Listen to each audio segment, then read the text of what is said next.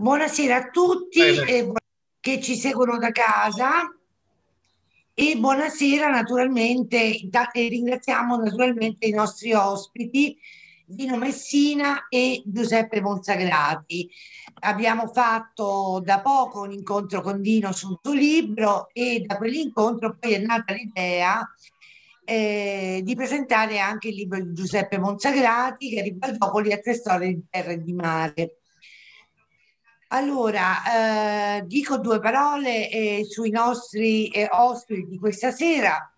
Giuseppe Monsagrati è uno dei maggiori esperti di storia del risorgimento eh, italiano, professore eh, ordinario di, tra l'altro di storia del risorgimento all'Università di Roma La Sapienza. Eh, ha fatto parte, è stato redattore del dizionario biografico degli italiani, dove ha diretto tra la sezione di storia contemporanea. Tra i temi della sua ricerca, il principale è quello relativo uh, all'area democratica del risorgimento, su cui ha pubblicato uh, molti, eh, molti volumi e varie biografie. Tra l'altro, tre volumi dell'episodio di Garibaldi una lunga serie di studi sulla Repubblica Romana del 49.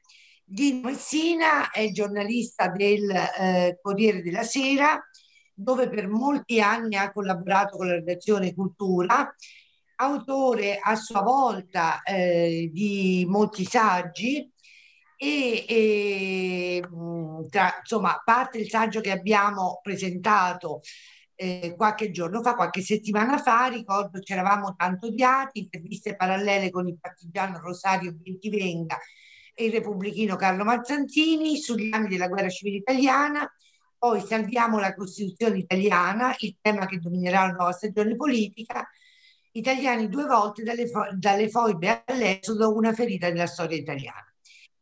Eh, attualmente eh, con, collabora con, con, il Corriere della Sera e sul sito del Corriere della Sera dirige il blog storico La nostra storia. Io do immediatamente la parola al Dino per la presentazione del libro. Grazie, grazie, buonasera. Eh, complimenti a Paola Cioni per la sua attività di, eh, di, di direttrice dell'Istituto di Cultura di San Pietroburgo e eh, al professor Monsagrati per questo bellissimo saggio eh, Garibaldopoli e altre storie di terra e di mare, eh, edito da Rubettino, che è, ehm, è, davvero, è davvero una sorpresa perché come mi diceva una volta uno storico e come spesso gli storici scrivono, ci sono alcuni storici che vanno dalla foglia, cominciano dalla foglia per descrivere, la, per descrivere e poi alla foresta. E qui, ehm, eh, qui eh, proprio è il caso di dire di Monsagrati, descrive il professor Monsagrati, che è uno dei più autorevoli storici eh, della storia del risorgimento italiano, ehm, parla di un aspetto marginale, di, di apparentemente marginale eh, della, nostra, della nostra storia unitaria, in particolare, in particolare del, di personaggi che si aggiravano attorno, attorno a Giuseppe Garibaldi e ci fa capire, e ci fa capire tutto un mondo, tutto un mondo eh, al di fuori della, mh, al di fuori della diciamo, di quello che di solito si apprende e si studia dei, dei, grandi, dei grandi personaggi. Cioè c'era tutto un, un brulicare di, di persone a, attorno, attorno, a Garibaldi, attorno ai grandi protagonisti del risorgimento che, eh, eh, che, che si apprende da queste, eh, da, queste pagine, da queste pagine di Garibaldopoli e altre storie di terra e di mare eh, che edito, ripeto, edito da, Rubertino, da Rubettino e che eh, ci fa entrare in quel mondo eh, e, e, ci fa conoscere quei personaggi che ruotavano attorno alle imprese del generale Nizzardo. Una coinè di patrioti, di idealisti, ma anche una comunità in cui capitavano affaristi, approfittatori, opportunisti, mossi da nessun altro ideale che quello di far fruttare la conoscenza con il grande personaggio, con il grande condottiero che era, eh, cioè Garibaldi, basta leggere una delle tante biografie, particolarmente quella di Monsagrati, ma anche altre, tante altre, per capire che Garibaldi era forse la persona, in certi anni è stata la persona più conosciuta del mondo occidentale, cioè era, eh, era una vera star, basta vedere la, l'accoglienza trionfale, l'accoglienza trionfale che fece, eh, eh, che gli tributò la, eh, che gli tributò Londra e, mm, un'accoglienza tanto trionfale per un personaggio come Garibaldi da mettere in difficoltà e in, in imbarazzo la stessa, la stessa regina. Ehm, e comunque eh, e, e, quindi, e, quindi, tutti quelli che lo conoscevano ed erano tanti eh, avevano, avevano, desiderio a volte talvolta di far fruttare questa conoscenza. A volte la, eh, diciamo, l'opportunismo e il sentimento patriottico ci fa, eh, ci fa capire Monsagrati a proposito, a proposito di, di, del principale personaggio che fa eh, da filo, da filo conduttore dei quattro episodi eh, che, eh, che, ci descrive, ehm, il sentimento patriottico coesisteva con, con l'opportunismo, cioè non, non, è che una persona è tutta è tutto opportunista, può essere anche, può essere anche l'idealismo, le idee possono andare anche con, eh, con, eh, con, gli affari, dipende come, dipende come. Eh, il libro del professor Monsagrati ha il, triplico, il triplo pregio, scusate, tripli, eh, pregio della chiarezza non disgiunta da una dose di ironia che è una, una prosa ironica eh, talvolta, della passione e del rigore. Eh, ci parla di quattro episodi della vita di un imprenditore di origine genovese, Luigi De Negri, che era stato ufficiale dell'esercito meridionale di Garibaldi al seguito della spedizione guidata dal generale Enrico Cosens. Io, qui voglio fare una parentesi, eh, Monsagrati è il maggiore esperto italiano di Cosens, eh, qui ha dedicato ampi studi, quindi, eh, quindi, quindi c'è una linea, c'è una linea anche, eh, anche, in questo. Aveva collaborato eh, questo Luigi De Negri, eh, Agostino Bertani, che era che era il, la, il personaggio che, orga, eh, che ebbe diciamo, la, la, parte, il ruolo maggiore nella, nella logistica della spedizione dei mille. E, eh, e De Negri faceva, faceva il... Eh, diciamo procacciava, procacciava, delle merci, faceva, eh, collaborava alla logistica della spedizione compresa la, compresa la fornitura di quei famosi eh, fucili a canna rigata. Il fucile a canna rigata, per chi ci ascolta, eh, è, è, il fucile, è un fucile di precisione che va a un tiro molto lontano ed era, ed era per, per l'epoca una novità. Non era un fucile a palla unica a canna liscia che aveva una gittata e una precisione, e una precisione inferiori. Eh, e comunque mh, lui aveva anche aveva le mani in pasto anche, eh, eh, anche, a questo. Io ricordo di aver letto in altre, in altre biografie che 200 fucili a canna rigata promessi a Garibaldi non, arrivarono, non, arriv non gli arrivarono mai, ma questo per, per un'opposizione interna al risorgimento italiano. Mi sembra che ci fosse lo zampino di Massimo D'Anzeglio che, che, negò, questa, che negò questa fornitura. Era, era una fornitura che doveva arrivare da Milano. Non so se in questo caso si trattava degli stessi fucili, ma questo poi il professor Monsagrati ce lo spiegherà, non si trattava di, ce lo spiegherà dopo.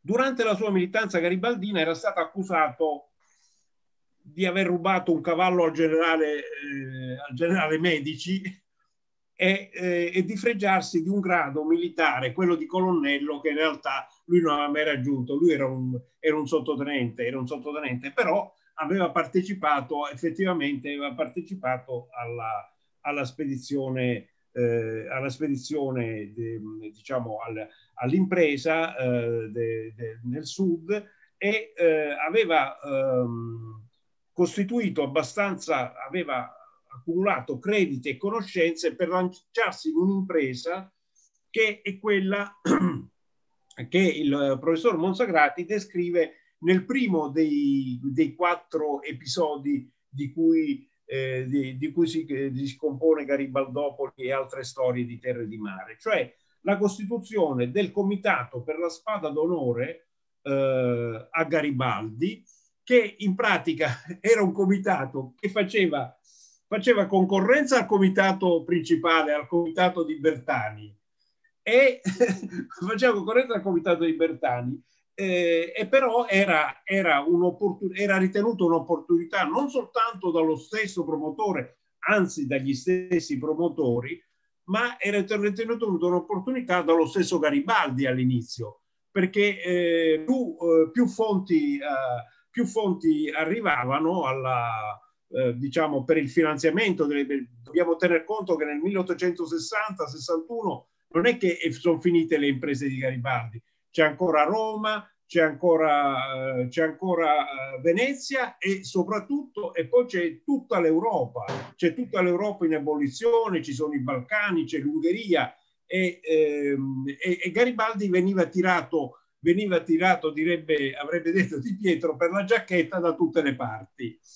Eh, da tutte le parti. Quindi assieme, eh, assieme, a, assieme a questo Luigi De Negri, a questo signore Luigi De Negri, eh, entra, entra, in scena un altro personaggio, un altro personaggio che conosce casualmente Garibaldi, cioè Alessandro Salvati. Alessandro Salvati era un giovane che viene convocato da, Alessand- che viene convocato da Alexandre Dumas. Eh, Dumas, eh, come, come, sappiamo tutti, era eh, do- dopo aver fatto visita, dopo essere arrivato arrivato a Palermo con la sua goletta Emma eh, portando dei fucilini ridicoli, risibili a Garibaldi, che invece era molto interessato dall'accompagnatrice, dall'accompagnatrice di Dumas, si posizionò nel Golfo di Napoli, a largo del Golfo di Napoli, per, eh, diciamo, per, per, eh, per, le sue imprese editoriali, compreso un giornale eh, che ebbe un certo successo e, sopra, e anche per, fare da informatore a Garibaldi. Infatti convocò, convocò questo, oh, questo giovane Alessandro Salvati con l'incarico di, man, ehm, di portare una lettera, a, una lettera a Garibaldi per ragguagliarlo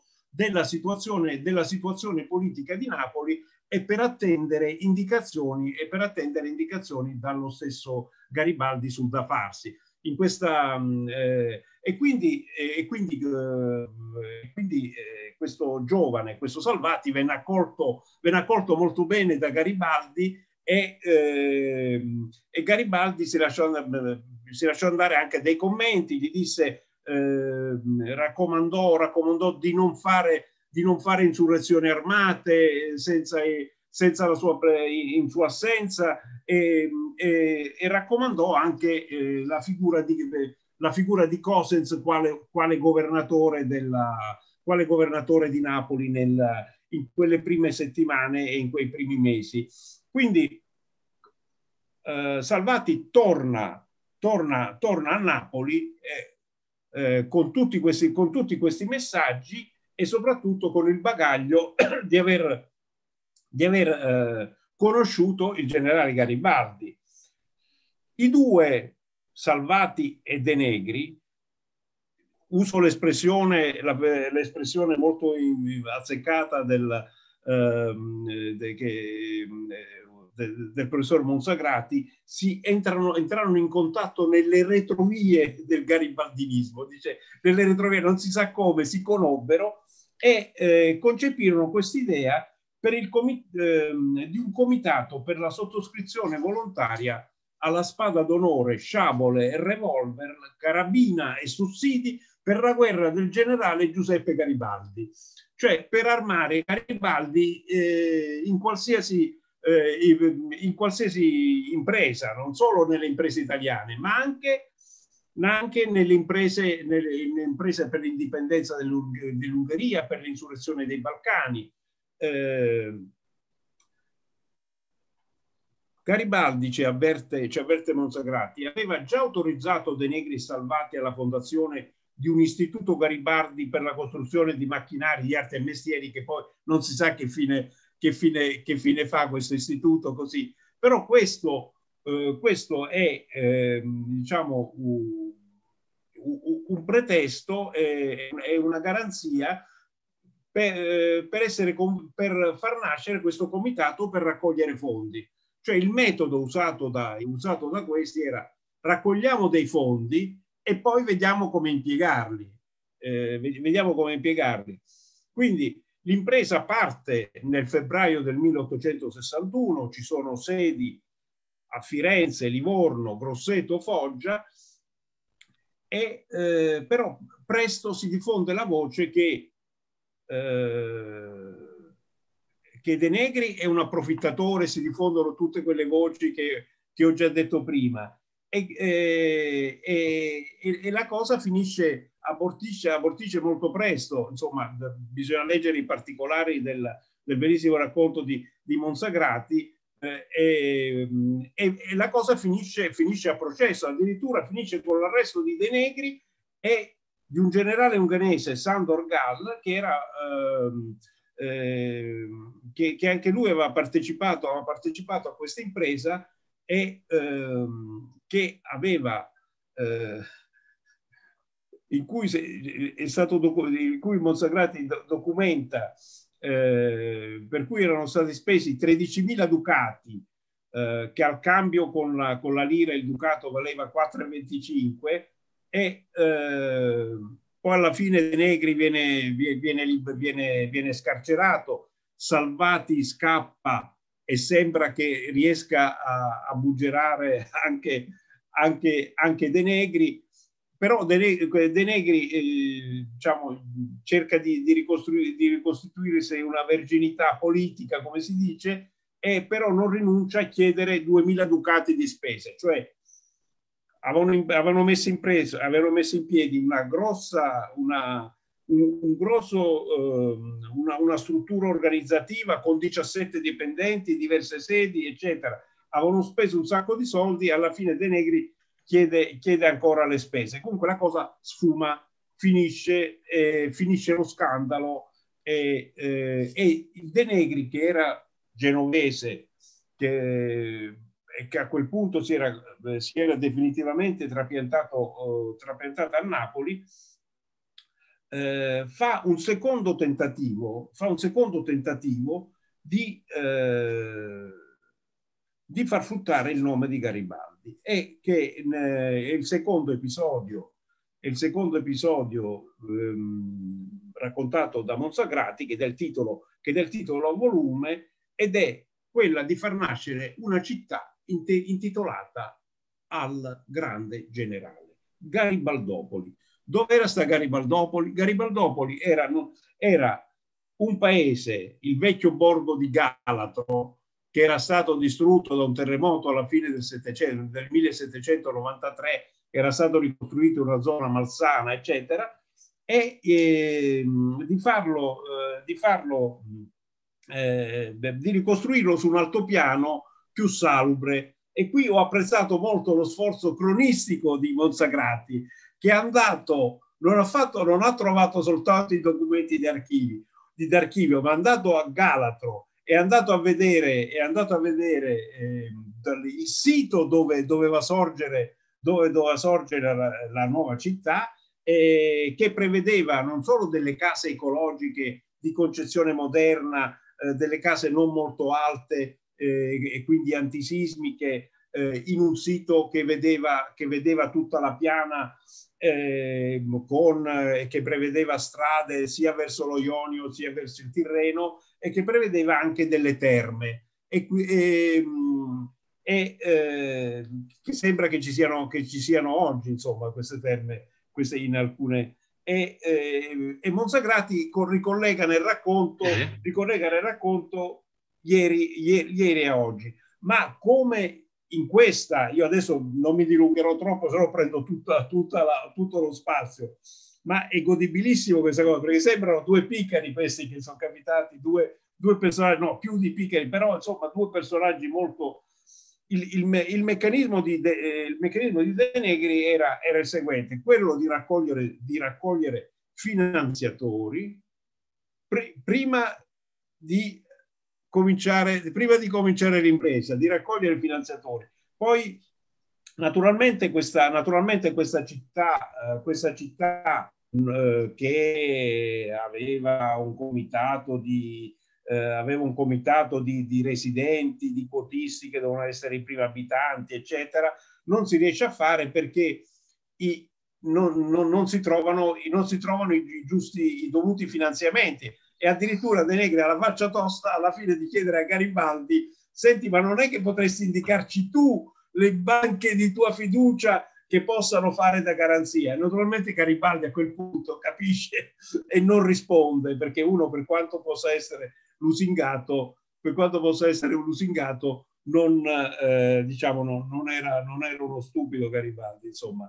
E ehm, questo adesso io mi fermerei qui perché, perché, perché il, il, racconto va avanti sulle imprese di De Negri, sulle, sulle pescicolture, sull'isola della Caiola, che ha una, eh, eh, che, che, ha una, eh, diciamo una fama un po', un po iettatoria, insomma, ehm, e, e sulle eh, le altre imprese di De Negri. Però ehm, tutto, tutto, questo racconto e questo episodio ehm, mi fa, io vorrei rivolgere delle domande al professor, al professor Monsagrati su questo e anche un po' allargare, allargare il quadro se queste figure come De Negri Salvati, che lei così, così diciamo, in maniera così divertente descrive, erano delle eccezioni eh, in quegli anni di cambiamento, erano un pochettino, se ne trovano diversi di questi soggetti.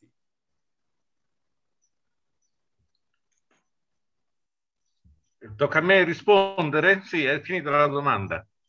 Eh, io ringrazio, sì. prima di tutto ringrazio Paola Cioni per l'organizzazione di questa presentazione, mi fa molto piacere eh, parlare, parlare, di questa, di questa eh, impresa editoriale, chiamiamola così, quasi, quasi, una ripetizione di quello che, che faceva De Negri, nel, cioè anch'io ho dato come, come eh, prodotto, diciamo così, eh, che poteva avere una sua un suo successo in libreria, una storia di per sé esile, ecco, diciamo la verità, perché questa è una storia basata su, su un personaggio singolo, che è il, questo Luigi De Negri, che si, si, si arrangia, inventa, appunto, è uno dei, dei progenitori dell'arte di arrangiarsi in un'Italia povera e soprattutto in un sud, in un sud dove non circola molto denaro e dove presto molti saranno costretti all'emigrazione perché eh, l'unità d'Italia non manterrà le promesse iniziali di benessere per tutti, in un, sito, in un sud povero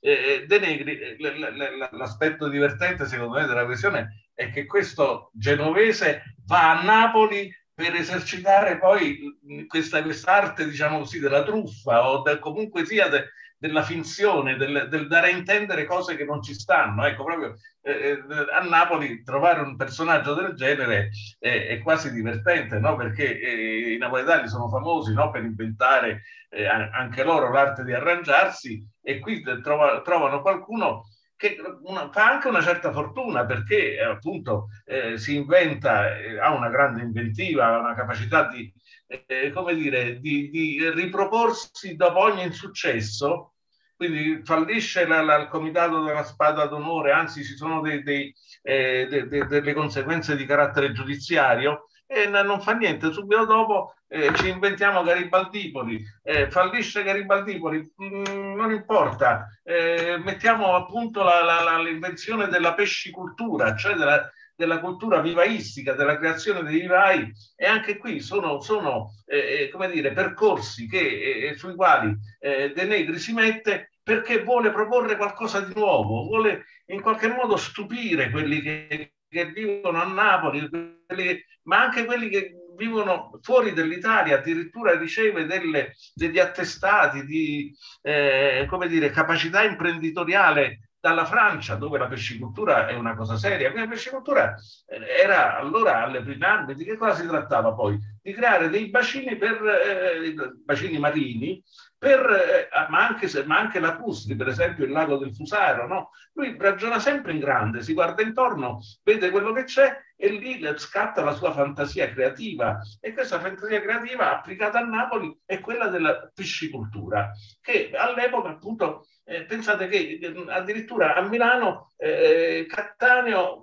propone l'istituzione di una cattedra proprio perché si vede il potenziale, eh, come dire, speculativo della cosa, non solo speculativo ma produttivo, cioè tu eviti, cioè la pesca, eh, la, la, la, giustificazione che dava, che dava De Negri qual era? Evitare, evitare la pesca, eh, come dire, diffusa tra migliaia di pescatori, i quali eh, saccheggiavano il litorale tirreno, insomma, all'altezza di Napoli, e invece di appunto depredare il fondo marino di tutta la sua popolazione eh, ittica, eh, creare dei bacini su, cui allevare questo, questo, pesce. Lui addirittura pensava di allevare addirittura anche il merluzzo, che mi risulta essere un pesce da mare freddi, eh, da mari freddi, però appunto nella sua fantasia tutto si poteva fare. E questo era un po' il lato, come dire, eh, geniale della sua personalità, che però non, non, si disgiungeva mai poi dal lato truffaldino, ov- ovvero se non lo vogliamo offendere, se vogliamo essere meno brutali, dal lato eh, spericolato, diciamo, della cosa. No? Quindi, eh, perché spericolato? Perché i suoi sogni andavano sempre oltre la realtà non riuscivano mai a collimare con quella che era poi la, la realtà con cui si misurava l'ultima impresa che tenta nella baia di Assab, approfittando del fatto che l'Italia si stava proiettando verso il Mediterraneo. Come vedete, è un, personaggio che dire, segue le vicende del paese, le fortune del paese cerca di eh, piazzarsi in qualche modo sulla scia di queste fortune che sono più sperate che realizzate poi in sostanza, perché la stessa avventura italiana nel Mar Rosso si conclude in maniera abbastanza, abbastanza eh, discutibile, insomma, no? Cioè, un investimento che rende, che rende pochissimo, eh, che parte dall'acquisto, dall'acquisto della baia di Assab che, era, era stata comprata in precedenza da Rubattino e, e su cui poi si dovrebbe eh, verificare dovrebbe aver luogo una speculazione per, per l'estrazione del sale e altre cose, però che succede? Che la, la, la, zona è troppo distante, non ci sono scali marittimi eh, funzionali e quindi tutto resta un po' così nel vago, tutto resta eh, più nel progetto che non nella realizzazione. Però ecco, questo è il personaggio, è il personaggio che, si, che sta all'interno di questo mondo garibaldino. Eh, qual è la, la, la, cosa che va sottolineata? Che il mondo garibaldino è un mondo serio, un mondo fatto di appunto reduci e veterani che si associano, che come dire creano società di eh, veterani, appunto società di reduci delle patrie battaglie, cercano quasi di sindacalizzare questo movimento garibaldino no? per ottenere eh, dallo Stato il, eh, come dire, quello che questa gente che si è offerta come volontari, che molte volte ha lasciato la vita sui campi di battaglia, pensa di meritarsi.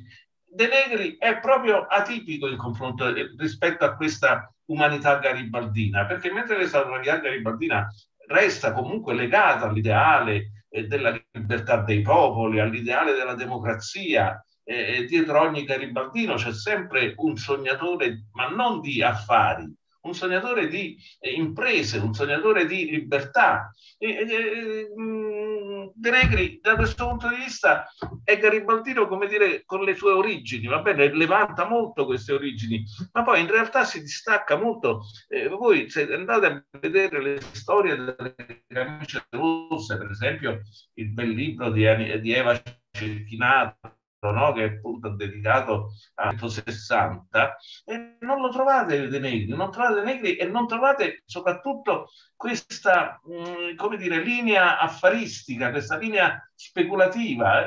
Eh, eh, sono, sono eh, mm, personaggi, quelli che vengono dal mondo garibaldino, che si, si dedicano al giornalismo, si dedicano alla politica, si dedicano anche agli affari, ma in maniera, in maniera molto, più, come dire, eh, normale, diciamo così, no? molto, molto meno avventurosa, molto meno eh, spericolata, molto meno mh, affaristica. più affari, come dire, tirati via, tirati fuori col sudore della fronte, che non appunto inventandosi sistemi di finanziamento che quasi sempre, eh, come dire, fanno leva sulla buona fede oppure sul nome di Garibaldi. La grande invenzione di, di, di, eh, di De Negri è quella di capire che il nome Garibaldi è un, è un brand, si direbbe oggi, no? È un brand. Eh certo, di per sé ha un suo valore. Eh, di per sé ha un suo valore. Beh, ma se pensiamo a tutta, a tutta la produzione di gadgets legati a, in, in, Inghilterra o anche in, nel resto d'Europa legati al nome di Garibaldi, negli anni 60 in Europa viene commercializzata una marea di oggetti, di oggetti memorabilia, souvenir, ma anche prodotti di consumo, in cui compare la figura di Garibaldi. Perché la figura di Garibaldi fa vendere. Va bene? Quindi il, il, il, questo però non lo fanno i garibaldini, lo fanno i capitalisti che hanno i soldi per appunto eh, la, la, marca di biscotti che viene venduta in Inghilterra col nome di Garibaldi è fatta da un produttore di, di biscotti, quindi, ma così tanti altri prodotti, oppure eh, le, le, le, le, ceramiche che vengono fatte con la figura di Garibaldi sono fatte da ceramisti, no? ma non c'è questo, questo aspetto invece del tutto avventuroso che De, De Negri mette in piedi. Quindi la, la, la, vicenda, la, vicenda, è quella che, si, che, ruota intorno a questo personaggio ed è stata una vicenda non facile da, da ricostruire. E spiego subito perché.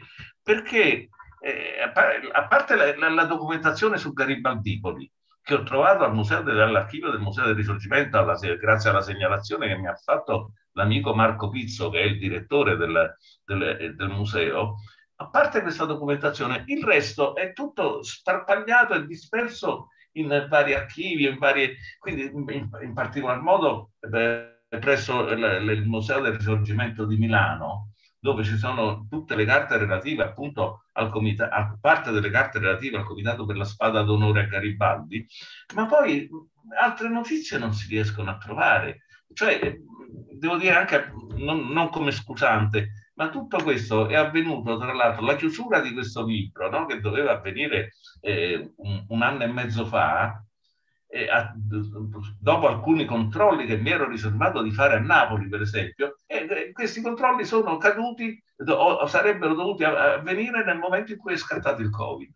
Quindi per un anno eh, non si è potuto fare nulla. Nella, io sarei voluto, come sono andato in Calabria, eh, come ricordava, lo ringrazio Messina di questa cosa, di, che sono andato in Calabria per, per, vedere il luogo, va bene, il luogo dove doveva sorgere, dove doveva sorgere Garibaldipoli, che era effettivamente un luogo meritevole di ogni apprezzamento dal punto di vista ecologico, perché stava in alto, era bellissimo, con un gran panorama, e, e, e, e sì, De Negri sognava addirittura collegamenti stradali eh, con l'Oriente, con, con il mare, eh, poco mancava che inventasse pure la, la, il porto di Gioia Tauro, insomma, perché ormai si era, si era lanciato nelle, nelle proposte eh, avveniristiche e, e, quindi, e, quindi, non si fermava più. Vabbè, quindi sono andato lì, sarei voluto andare anche a Napoli per verificare nell'archivio di Stato di Napoli l'aspetto, come dire, processuale della, della, sia della vicenda del 61, quella del Comitato della Stato d'Onore, che la vicenda del, 60, del, del, del, del 70-71 della, dell'isola della Gaiola. L'isola della Gaiola è un altro, eh, di, di, io l'ho intitolato Storie di, di terra e di mare, perché appunto si, si svolgono in parte, in parte appunto a Galatro, no? quindi il, il, il, lembo estremo della Calabria per intenderci. Ecco, anche questo è qualcosa di significativo. Io l'ho trovato molto interessante che questa, eh, questo investimento eh, De Negri lo volesse fare nella Calabria povera e abbandonata da tutti. Sì, questo è molto La Calabria era una regione, e lo è in parte ancora, no? però, però perché sì, Baldino come, eh, come dire, eh, volontario della spedizione dei Mille, eh, lui risale le, le, le, lo stivale attraversato lo stretto, lo risale fino a Napoli al seguito di Garibaldi e probabilmente incrocia personaggi del, del, del liberalismo e del patriottismo calabrese e con questi, e con questi eh, poi mh, si accorda per ottenere la concessione gratuita dei terreni sui quali poi eh, eh operare questa, questa, questa, la costruzione di questo mitico di questa media mi è sembrato tanto, mi ha fatto tanto pensare a Macondo, no? l'idea di, di, creare un paese, di, creare, di dargli il nome di, dell'eroe più popolare in quel momento, in una terra eh, dimenticata, in una terra che gli italiani non conoscevano, la gran parte degli italiani non la conosceva la Calabria perché difficilmente si certo. spingevano sotto Napoli, no? anche loro, eh, eh, nei loro viaggi. Quindi voler fare questo, eh, come dire, dà l'idea di un, un, personaggio che insomma, non rientra nel cliché, va bene? Non rientra nel cliché di, appunto, del, di quello che si adagia nell'associazionismo garibaldino, perché quello non gli basta. L'associazionismo garibaldino lo fanno appunto i reduci delle battaglie. Lui ha, idee, ha, ha idee molto più ambiziose, no? E quindi allora trovare la documentazione su tutto questo eh, spostarsi da una parte all'altra dell'Italia e poi concentrarsi a Napoli e poi da Napoli puntare addirittura sul Mar Rosso, questo è stato prima di tutto per me molto divertente. Io mi sono, devo dire la verità, è la prima volta forse vita mia che faccio un libro, mi sono divertito. Sicuramente... Mi scusi, che cosa spingeva Garibaldi, che sicuramente era una persona avveduta, cioè non, era uno sprovveduto, a dar credito a personaggi così? Ma Garibaldi era, era eh, tempestato mh, mm, tutti i giorni da richieste che gli arrivavano e siccome era un animo generoso, soprattutto verso chi aveva combattuto con lui, verso chi aveva accettato di rischiare la vita al suo seguito, allora mh, mm, eh, aveva ovviamente un ufficio di segreteria che doveva eh, un po' eh, filtrare no, tutte le, le, le richieste che gli arrivavano, però come dire, il marchio di garibaldinismo, vabbè, l'impronta che uno si portava addosso di essere stato garibaldino, di essere stato a contatto addirittura con Alessandro Dumas, eh, verso il quale Garibaldi aveva un'ammirazione sconfinata, Messina giustamente ha ricordato eh, il giornale che, eh, che, che Dumas scrive a Napoli, bisogna ricordare anche la biografia che, che Dumas scrive di Garibaldi e che fa di Garibaldi un uomo noto internazionalmente, perché Dumas si legge dappertutto.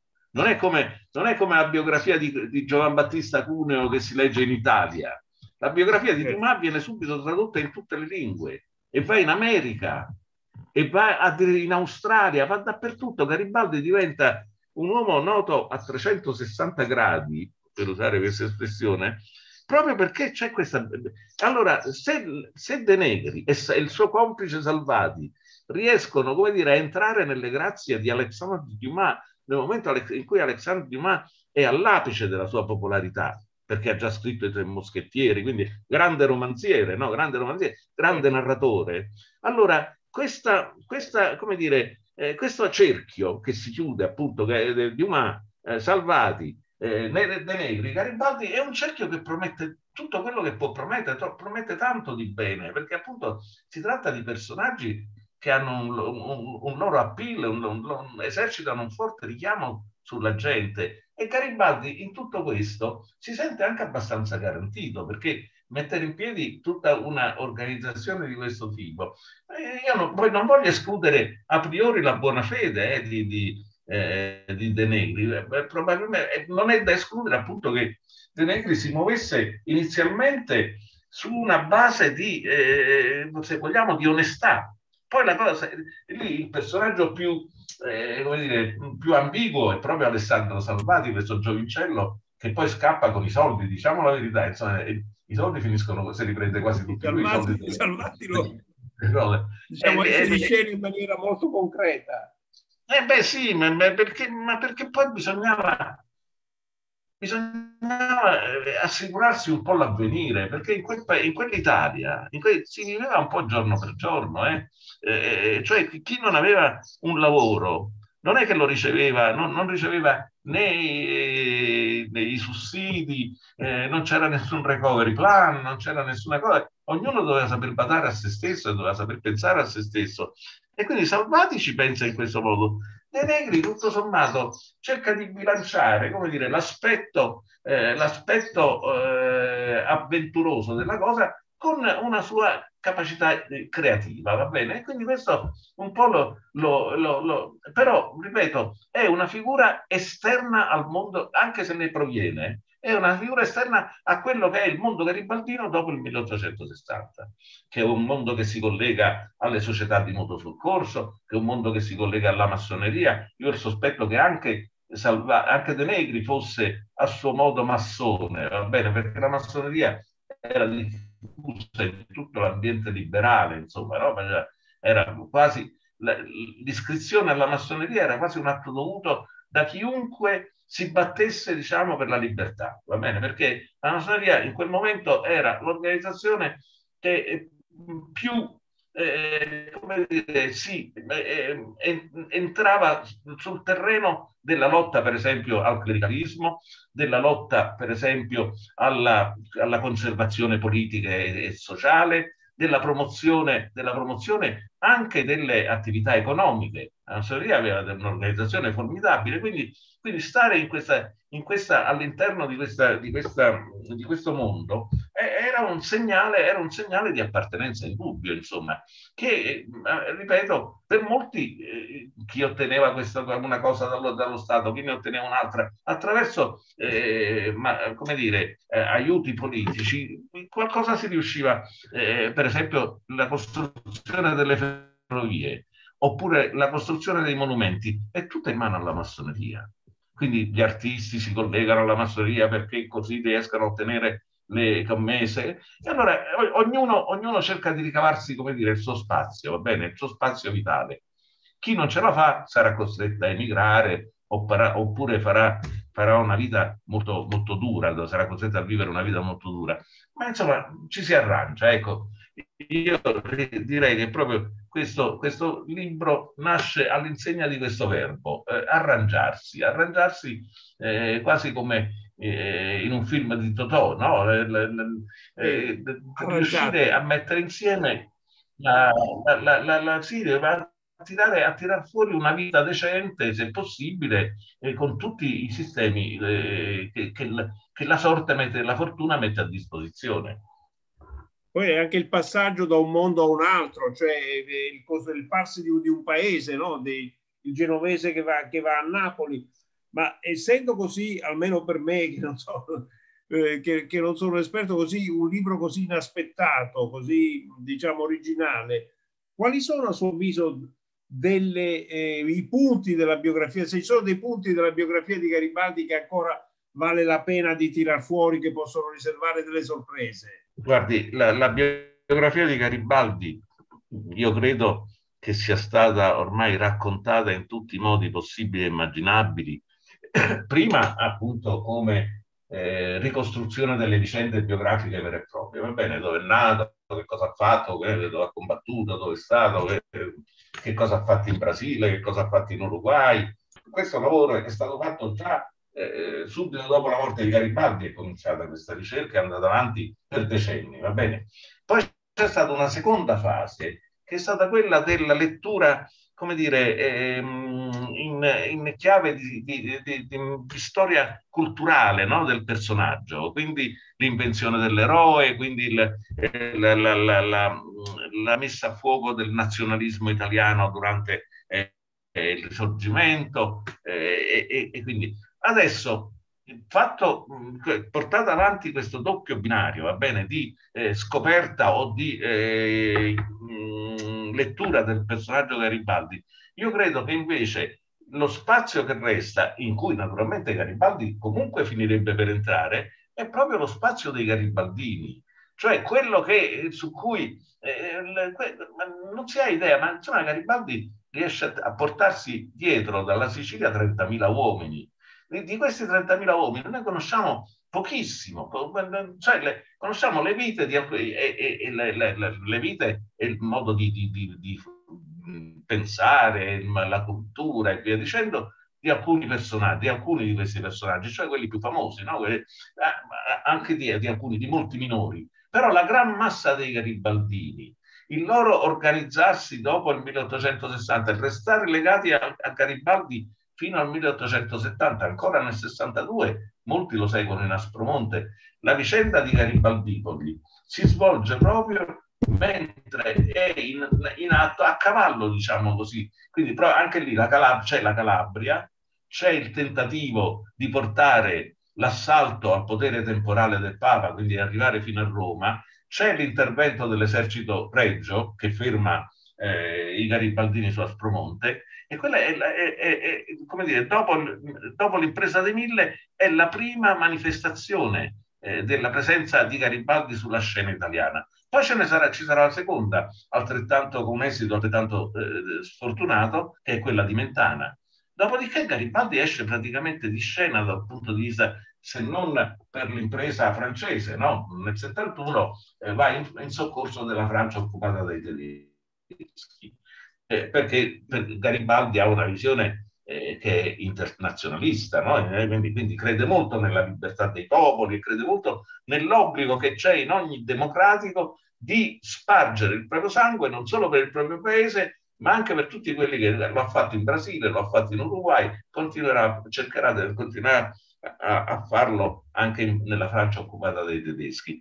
Ma dopo il 71, Garibaldi ha ancora una breve parentesi di eh, vita politica eh, a Roma nel 75, quindi le sue famose proposte per il Tevere, per l'Agro Romano, il porto di Roma e via dicendo.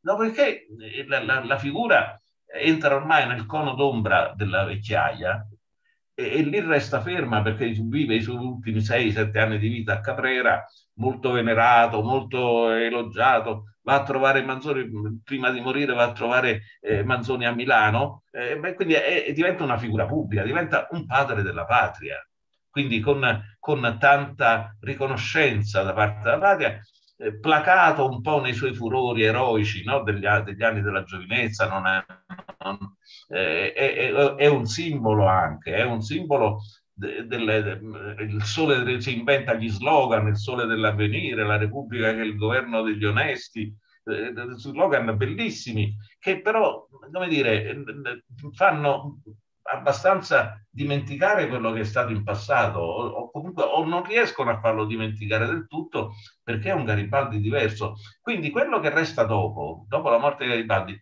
è questo milieu garibaldino numerosissimo di reduci, di, di veterani, i quali, i quali, saranno ancora disponibili. Ci sarà tutta una tradizione garibaldina che andrà avanti fino alla prima guerra mondiale. I garibaldini delle Argonne del, del 15 14-15 che entrano in guerra prima che l'Italia entri in guerra, entrano in guerra come volontari, anche lì al difesa della Francia, sono l'ultima propagine di questo movimento garibaldino. Dopodiché ci saranno altre figure, ci saranno altre cose, ma praticamente la tradizione garibaldina eh, si spegne con, con, la Grande Guerra. Si spegne con la Grande Guerra. E, e però, e però salvo poi le, le, famose brigate Garibaldi no, della Resistenza, certo, resistenza certo. i Garibaldini hanno il nome, insomma, eh. non, non, ci sono più esponenti della famiglia Garibaldi, a parte eh, la figura di Sante Garibaldi, va bene, che fa, fa, eh, come dire, sta dietro la, la, resistenza francese ai tedeschi. Ma insomma, questa, la, la, vicenda del garibaldinismo è una vicenda che va avanti, quindi ben oltre la morte di Garibaldi, almeno fino agli anni venti. Ecco, allora bisognerebbe mettere a fuoco soprattutto questa realtà, perché è una realtà, per esempio, quelli che vanno a Fiume, l'impresa di Fiume, è un'impresa in cui i garibaldini ci sono. Quelli che vanno in Albania, quelli che vanno in Grecia, mm, cioè c'è, oppure, oppure, anche, oppure anche quelli che tradiscono in qualche modo, no? che fanno il doppio gioco. È un mondo variegatissimo, insomma. Quindi io credo che rispetto appunto alla, tornare alla domanda che mi faceva Messina, rispetto alla possibilità di indagare ancora eh, su Garibaldi, con la speranza di trovare qualcosa di nuovo, che secondo me è del tutto vana, eh, invece presenta interesse questa, questa eh, questa umanità, questa umanità garibaldina che gli sopravvive e che va avanti ancora e la troviamo nei giornali, la troviamo nel, nel, negli, spe, spettacoli teatrali, nella letteratura, la, si crea una letteratura garibaldina tra l'altro. nasce una letteratura garibaldina, nasce una memorialistica, nasce una diari, i diari, cioè ci sono tracce molto vistose di questa presenza garibaldina e molto importanti. Ecco, forse è su, è su questo, è su questo, eh, questo terreno insomma, che bisogna muoversi con qualche maggiore possibilità di eh, dire cose nuove. Insomma. Grazie, professore. Una piccola parentesi, lei ha parlato di 30.000 che seguono Garibaldi, non erano 50.000 dell'esercito meridionale? L'esercito meridionale ha vari momenti, no? Eh, intanto quando partono sono mille, va bene, poi si aggiungono le spedizioni medici, la spedizione Cosens, varie altre spedizioni e questa, questa man mano cresce, ci sono poi eh, i picciotti siciliani, ci sono quindi gli altri volontari che vengono io so che quando sono al Volturno sono 30.000 garibaldini. Va bene, poi il, la cifra esatta, eh, con quella, insomma, in quel momento eh, l'organizzazione non era al top delle sue possibilità, eh, la cifra esatta non la si conosce ovviamente, io credo che siamo sulle, su, intorno alle 30.000, forse al massimo 40.000 unità. 50.000 è una, è una cifra che non mi non, insomma, non conosco, ecco, sinceramente. Però, ripeto, c'è una certa vaghezza no, in questo calcolo, in questa statistica, proprio perché, proprio perché non ci sono, eh, non c'è tutta quella eh, sovrabbondanza di studi su quello che avviene dopo Garibaldi, cioè su quella appunto su questa eh, perché, perché poi la ricostruzione si potrebbe fare attraverso eh, le, le, domande che vengono presentate per il riconoscimento, per esempio, della medaglia. Molti di questi ottengono la medaglia per la partecipazione alla spedizione, quindi eh, c'è una documentazione che credo sia stata già, eh, sinceramente non me ne sono occupato, credo che comunque sia stata già messa eh, sotto, sotto, osservazione eh, dagli storici militari, insomma, dagli storici eh, del, del, del, movimento garibaldino come organizzazione militare. Comunque sì, sì, eh, le, le, cifre possono essere eh, più o meno, più o meno eh, però siamo lì, insomma, tra 30.000 forse 50.000, io sapevo appunto 30-40.000. Bene. Professore, ma è, è lei che ha, curato tre volumi dell'epistolario che l'epistolario è, è, stato tutto studiato, è tutto a posto, non c'è niente da... L'epistolario ancora non è completo. Siamo arrivati, l'ultimo volume mi sembra che arrivi al 75.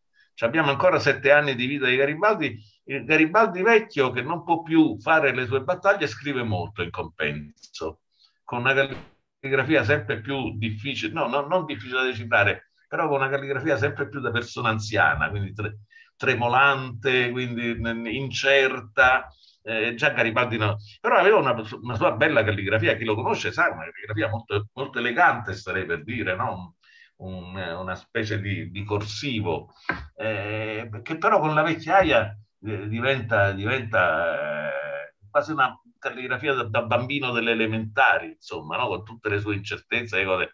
Allora, eh, l'epistolario, ripeto, è arrivato fino al 75 mancano gli ultimi sette anni, ma eh, quello, anche lì queste sono imprese, quelle degli epistolari, sono imprese che non sono mai, non, sono mai, non, non si possono considerare mai finite, perché io stesso non faccio altro che trovare lettere di Garibaldi, tra l'altro, per le mie ricerche, io continuo a trovare che segnalo puntualmente a quelli perché io ho finito con i miei tre volumi eh, che coprono il periodo 64-66, eh, con quelli ho finito. Eh, dopodiché hanno continuato altri colleghi, adesso l'ultimo volume è uscito mi sembra l'anno scorso e se non sbaglio dove arriva al 70, io ce l'ho quindi se, mh, glielo posso anche far vedere volendo, perché basta che mi giro un attimo, lo prendo e, e glielo faccio vedere l'ultimo volume. Però ecco, ripeto, finora, finora mi sembra che siano usciti una dozzina di volumi, più o meno 3, 6, 9, no, forse 14, 14, 15 volumi sono usciti dell'epistolario. Sono quanti volumi? 14? Eh,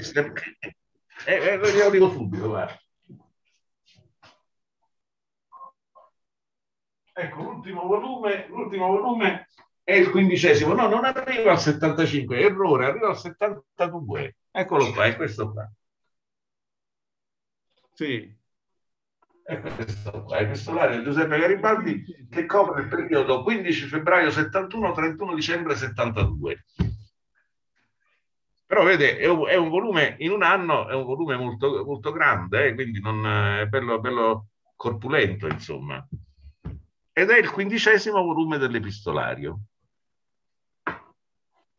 grazie con... io eh, mi sono segnato tante domande perché è, è un'opportunità rara ma una eh, che volevo farla assolutamente è sulla, eh, diciamo, decadenza della, dello studio della storia del risorgimento nelle scuole e nelle università, cioè eh, c'è stato un po' un disinteresse per il risorgimento anche per le cattedre, ce ne sono, ce ne sono poche. Sì. È vero o no questa cosa? Sì, sì, sì, no, no, questo, questo, è un dato, però io mi ostino a, a, dire che è soprattutto burocratico, nel senso che intanto è stata fatta una riforma dell'organizzazione degli studi eh, storici, per cui sono state soppresse tutte le cattedre, come dire, eh, di, eh, eh complementari, di quelli che una volta si chiamavano esami complementari, la storia dell'età dell'illuminismo non esiste più, la storia eh, de, de, de, della vita culturale in Austria, per esempio, c'era una cattedra di storia della vita culturale in Austria, non esiste più. Le, le, storie intermedie sono rimasti i tre grossi bacini, storia medievale, moderna e contemporanea.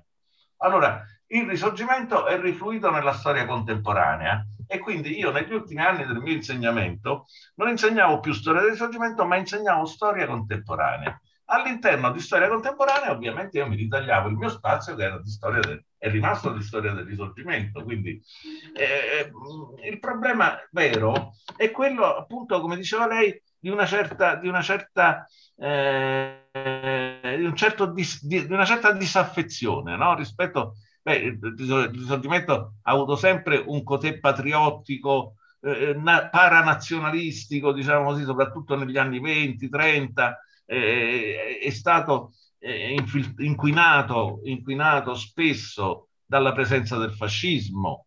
Eh, quindi eh, dopo, dopo la, la, la, la, seconda guerra mondiale il risorgimento è diventato un terreno di studio a tutti gli effetti, nel senso che non è più spiegato eh, con la storia della società italiana e delle sue vicende nel XIX secolo, grosso modo, no? quindi nel, nel periodo che va dalla fine del Settecento eh, eh, e dalla dominazione napoleonica, quindi il periodo rivoluzionario, fino alla Grande Guerra, anzi fino alla fine dello Stato liberale.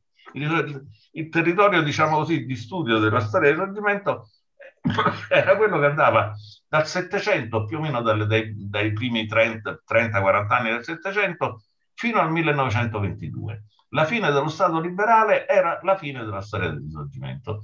E questo, allora, è vero che c'è stata quindi una diminuzione anche per esempio della presenza eh, della, della, disciplina di storia del risorgimento, quindi dei fatti della storia del risorgimento nella manualistica eh, delle scuole medie, no? delle de, de medie inferiori e superiori.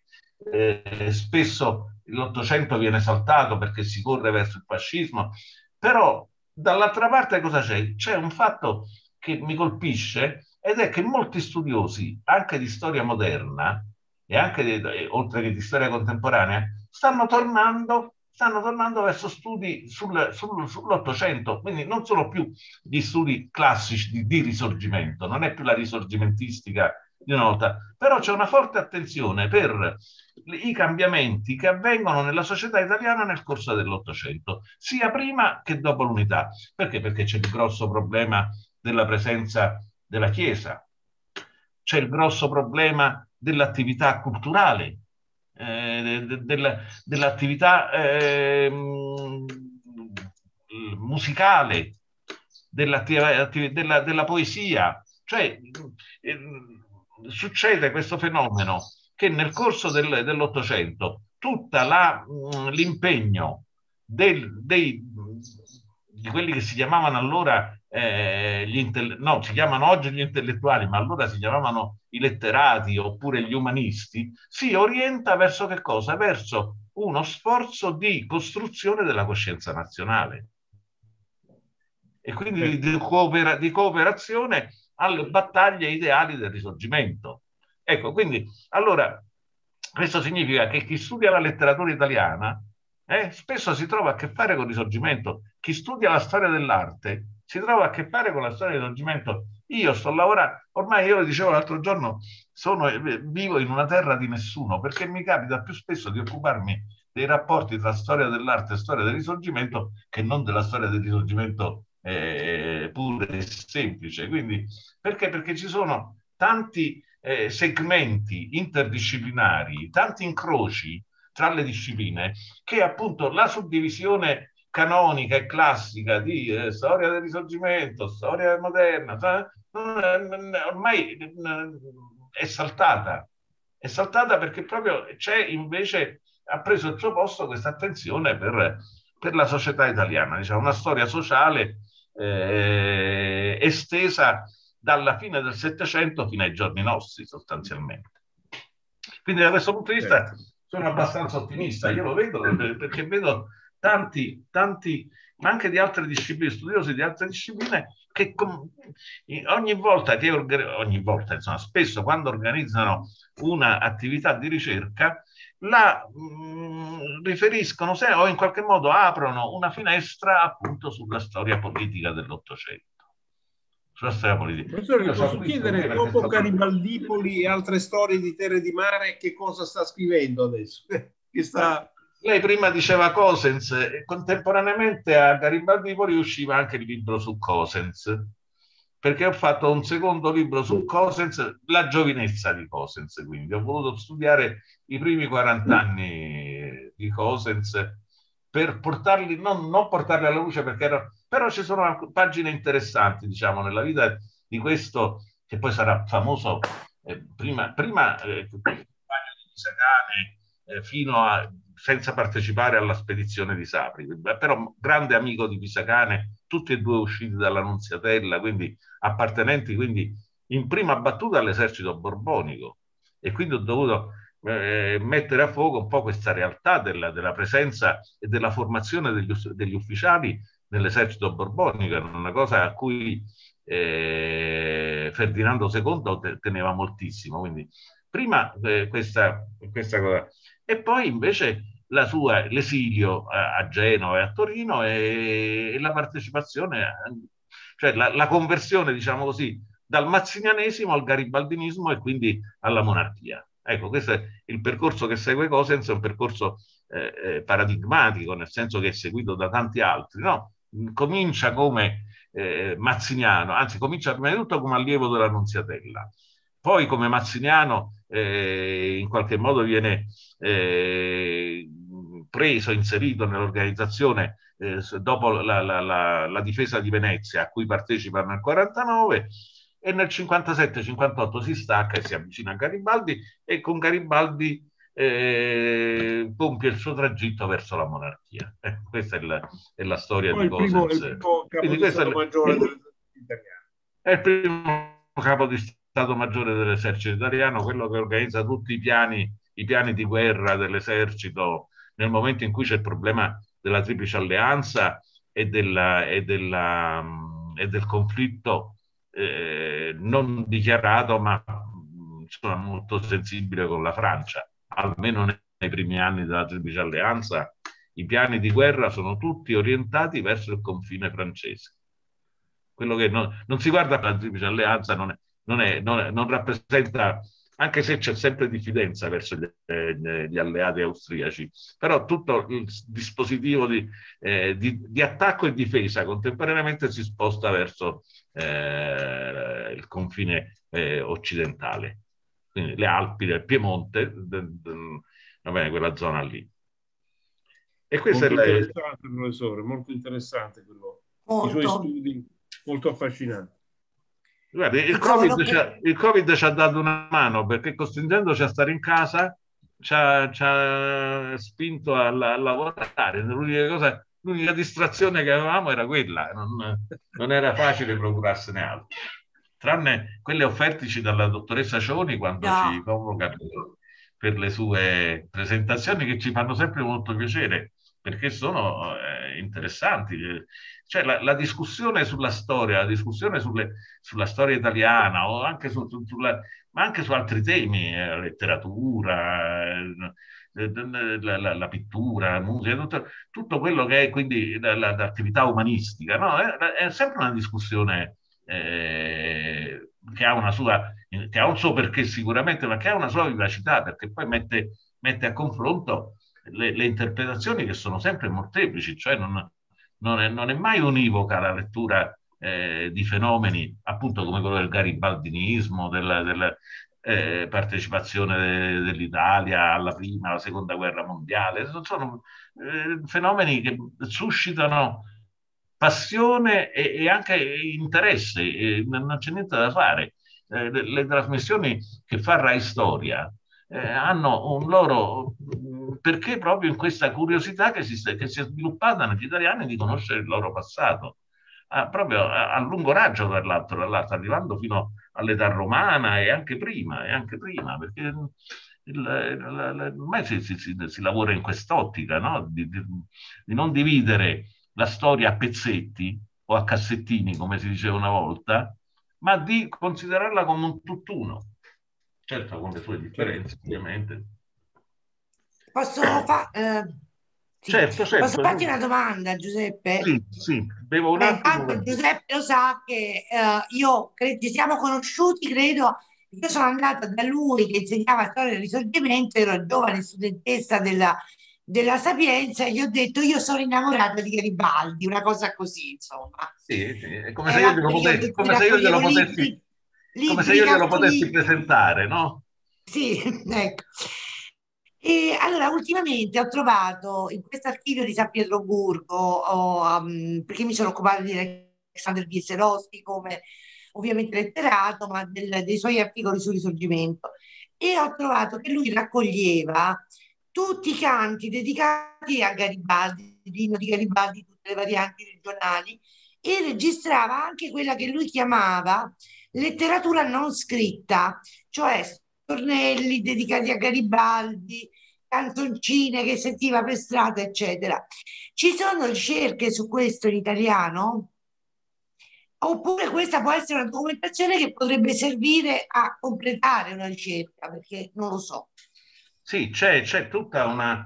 Eh, se andate alla discoteca di Stato, per esempio, la discoteca di Stato, sì. ci sono molte registrazioni che riguardano proprio questa eh, cultura popolare, no? che eh, si esprime, che è la cultura appunto che viene dal basso, non è la cultura alta sì. dei, dei, grandi scrittori, non è Mameli, insomma, no? non, è, non è Abba, ma sono sono gli anonimi eh, siciliani che improvvisano lo stornello, che improvvisano la canzoncina, che improvvisano la, la, la poesiola.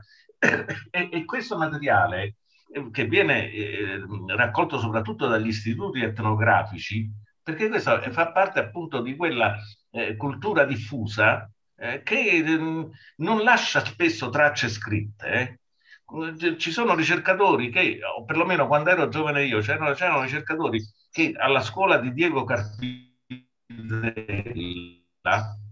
è stato un grande studioso di storia popolare, di storia della musica popolare, eh, intervistando gli anziani, gli anziani degli anni 40-50, quelli eh, che quindi da, da, da bambini avevano sentito ancora e andavano a intervistarli e, e si facevano eh, e cercavano di eh, ricostruire questa eh, produzione, questa produzione anonima, in genere anonima, di stornelli. Di Poi c'è anche quella colta, no? un, poeta, un, poeta, come Dall'Ongaro, che ha fatto un sacco di, di, di queste poesie poi, patriottiche, è, conosciuto, ha sua, i suoi bei libri in cui ma anche lo stesso Giusti, no? Insomma, molta, de, molta della poesia è orientata proprio verso e, e funziona da sostegno a quella che è la eh, di, divulgazione del patriottismo ottocentesco.